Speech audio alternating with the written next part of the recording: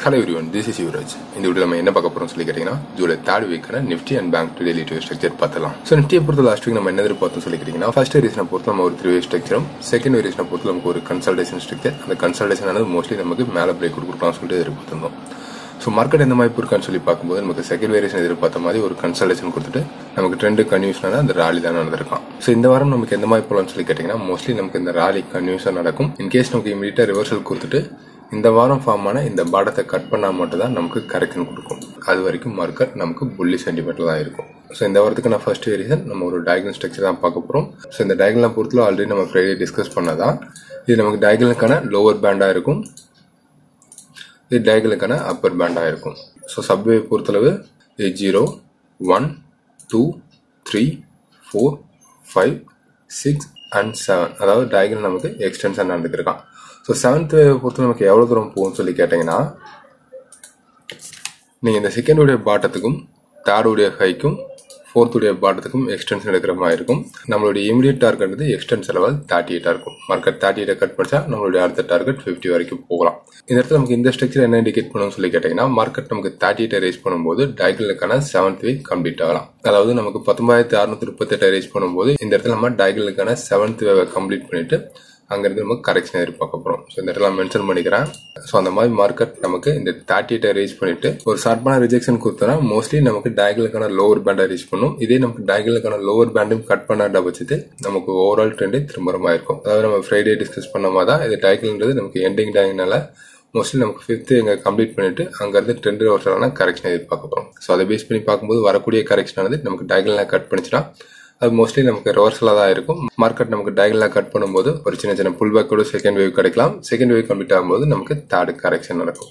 So இது ஒரு kind of variation இது இல்லாமல் நமக்கு வரக்கூடிய புல் பேக் ஆனது தேர்ட்டி எயிட்டை ஒட்டி சின்ன சின்ன கன்சல்டேஷனோட மார்க்கெட் நமக்கு தேர்ட்டி எயிட்டும் கட் பண்ணும் பட்சத்தில் நீங்கள் தாராளமாக ராலி கண்டினியூஷன் எதிர்பார்க்கலாம். அதை பொறுத்து நமக்கு எவ்வளோ தூரம் போகும் சொல்லி கேட்டிங்கன்னா மினிமம் பத்தொன்பதாயிரத்தி எழுநூத்தி முப்பத்தி ஏழு வரைக்கும் போகலாம். இது நமக்கு அந்த கேப் அப் சஸ்டெயின் ஆகிட்டு பிரேக் அவுட் கொடுக்கும்போது கிடைக்கக்கூடிய ஸ்ட்ரக்சர் இந்த இடத்துல நமக்கு ரிவர்ஸில் எந்த மாதிரி கண்டுபிடிக்கணும்? இந்த இடத்துல நமக்கு ராலி கன்வியூஷன் எந்த மாதிரி கண்டுபிடிக்கணும்னு சொல்லி கேட்டிங்கன்னா ஒன்றுமே கிடையாது.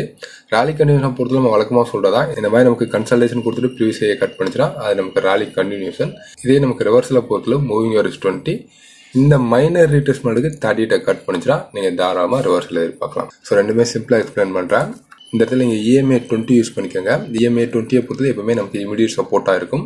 அதே மாதிரி ரீடேஸ்மெண்ட்டை பொறுத்தளவு இந்த வாரம் ஃபார்ம் ஆன இந்த பாட்டத்துக்கும் வரக்கூடிய ஹைக்கும் பண்ணுங்க. எப்போ நமக்கு மார்க்கெட் பண்ணுறது தேர்ட்டி எயிட்டையும் இஎம்ஐ டுவெண்ட்டியும் கட் பண்ணிட்டானா அது மோஸ்ட்லி நமக்கு ரிவர்ஸில் தான் இண்டிகேட் பண்ணும். அந்த மாதிரி நமக்கு இந்த ரெண்டு ஃபேக்டரும் பிரேக் அவுட் கொடுத்துட்டு டயகலும் பிரேக் அவுட் கொடுத்ததுன்னா மோஸ்ட்லி அது நமக்கு ட்ரெண்ட் ரிவர்ஸில் தான் இருக்கும். ஸோ இது நமக்கு கேப் அப் கொடுக்கும்போது கிடைக்கக்கூடிய ஸ்ட்ரக்சர் இது இல்லாமல் நமக்கு கேப் கொடுத்தோன்னா ஒன்றுமே கிடையாது. மோஸ்ட்லி நமக்கு டயகலில் கட் பண்ணாத வரைக்கும் ஒரு கன்சல்டேஷன் கொடுத்துட்டு மோஸ்ட்லி நமக்கு மேலே போகிற மாதிரி தான் இருக்கும். லைக் எந்த மாதிரி சொல்லி கேட்டிங்கன்னா நமக்கு இமீடியட்டாக கேப் கொடுத்தாலும் டயகலாக பிரேக் அவுட் கொடுக்காட்டி மோஸ்ட்லி இந்த இடத்துல நமக்கு கன்சாலேஷன் நடந்துட்டு அது நமக்கு ட்ரெண்டு கன்வியூஷனான ராலி தான் நடக்கும் ஸோ இது நமக்கு கேப்னு கொடுக்கும்போது கிடைக்கக்கூடிய ஃபர்ஸ்ட் வேரியேஷன் இல்லை நமக்கு இமீடியட்டாக மார்க்கெட் கேப்னு கொடுத்துட்டு இந்த டைகிலும் கட் பண்ணுற பட்சத்தில் நீங்கள் தாராளமாக கரெக்ஷன் எதிர்பார்க்கலாம் அதை பொறுத்து நமக்கு எவ்வளோ தூரம் வரும்னு சொல்லி கேட்டிங்கன்னா நீங்கள் இந்த ஃபிங்கருடைய பாட்டதுக்கும் இந்த வாரம் ஃபார்ம் ஆன இந்த ஹைக்கும் ரீட்டேஸ் பண்ணுங்க நமக்கு டுவெண்ட்டி த்ரீன்றது இமீடியட் டார்கெட்டாக இருக்கும் மார்க்கெட் டுவெண்ட்டி த்ரீ கட் பண்ணிச்சா நம்மளுடைய அடுத்த டார்கெட் தேர்ட்டி எயிட்டாக இருக்கும் ஸோ தேர்ட்டி எயிட்டை பொறுத்தல எப்பவுமே நமக்கு ஒரு மேஜர் சப்போர்ட்டாக இருக்கும் மோஸ்ட்லி மார்க்கெட் இந்த ஜோனை ரீச் பண்ணிச்சுன்னா நமக்கு அது ஃபர்தராக புல் பேக் தான் கொடுக்கும். ஸோ இதான் நிஃப்டிக்கான ஸ்ட்ரக்சர் ஓகே பேங்க் டீ இந்த மாதிரி இருக்கா சொல்லிட்டு பார்த்துடலாம். ஸோ பேங்க் டீயை பொறுத்த லாஸ்ட் வீக் நமக்கு ஒரு த்ரீ ஸ்ட்ரக்சரோட கரெக்ஷன் நடந்ததுனால ஃபோர்த்தை கம்ப்ளீட் பண்ணிட்டு ஃபிஃப்த் ராலி எதிர்பார்த்ததும் இதே நமக்கு செகண்ட் வேரியேஷனை பொறுத்து நமக்கு சீலக் வந்து ஷார்ப்பான கரெக்ஷன் நடந்ததுனால மோஸ்ட்லி அது நமக்கு கரெக்ஷன் தான் கொடுக்கும். அந்த கரெக்ஷனை பொறுத்து நமக்கு ஃபிஃப்டியை ரீச் பண்ணும்போது நமக்கு சப்போர்ட் எடுக்கலாம் சொல்லிட்டு எதிர்பார்த்ததும் மார்க்கெட் அந்த மாதிரி போயிருக்கான்னு சொல்லி பார்க்கும்போது நம்ம எதிர்பார்த்த மாதிரி கரெக்ஷன் கொடுத்துட்டு ரீட்டேஸ்மெண்ட் ஃபிஃப்டிலாம் சப்போர்ட் எடுத்திருக்கான். ஸோ வரக்கூடிய செஷன் இந்த இடத்துல நமக்கு எந்த மாதிரி போகலாம்னு சொல்லி கேட்டிங்கன்னா இதை நம்ம ஃபோர்த்தாக கன்சிடர் பண்ணும்போது நமக்கு ஃபிஃப்த் ராலி பெண்டிங் இருக்கான் இது ஒரு கைண்ட் ஆஃப் ரீசன் இல்லை இமீடியட்டாக நமக்கு ரீட்டேஸ்மெண்ட் ஃபிஃப்டியை கட் பண்ணுற பட்சத்தில் நம்மளுடைய அடுத்த டார்கெட் சிக்ஸ்டி ஒன் வந்து செவன்ட்டி எயிட் வரைக்கும் போகிற மாதிரி இருக்கும். இந்த இடத்துல மார்க்கெட் சிக்ஸ்டி ஒன்னை கட் பண்ணக்கூடாது. இன்கேஸ் மார்க்கெட் சிக்ஸ்டி ஒன்னை கட் பண்ணிட்டான்ற பட்சத்தில் நமக்கு ஓவரால் ட்ரெண்டே திரும்பும். அதாவது கரெக்ஷனாக மாறுறதுக்கான ப்ராபபிலிட்டி இருக்கும். ஸோ ஸ்ட்ரக்சர் ட்ரா பண்ணி காட்டுறேன். ஃபர்ஸ்ட் ரீசனை பொறுத்தவரை நம்ம ஃபிஃப்த் தான் எதிர்பார்க்க போகிறோம் அந்த ஃபிஃப்த் பொறுத்தவரை நமக்கு எந்த மாதிரி ப்ராப்ளம் சொல்லி கேட்டிங்கன்னா ஒரு ஷார்ப்பான புல் பேக் நடந்ததுன்னா இதுக்கான இமிடியட் டார்கெட்டை பொறுத்தளவு நீங்கள் இந்த சிங்கிடிய ஹைக்கும் இந்த வாரம் ஃபார்ம் ஆன இந்த பாட்டத்துக்கும் ரீடேஸ்மெண்ட் எடுக்கிற மாதிரி இருக்கும். ஸோ எப்பவுமே நமக்கு தேர்ட்டி இருந்தது. ஒரு மேஜர் ரெசிஸ்டண்டாக ரியாக்ட் ஆகும்.